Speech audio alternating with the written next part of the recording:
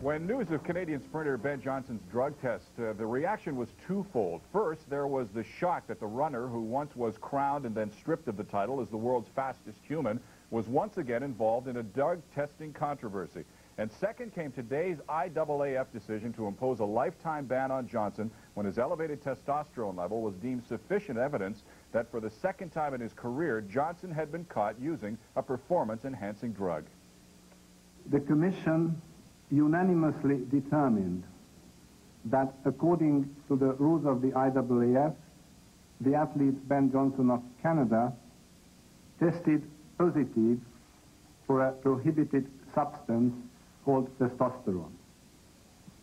The doping analysis carried out by the IOC accredited laboratory in Montreal found that the sample contained excessive level of testosterone. In accordance with the rules of the Federation, the athlete is immediately suspended from any athletic competition for doping offense.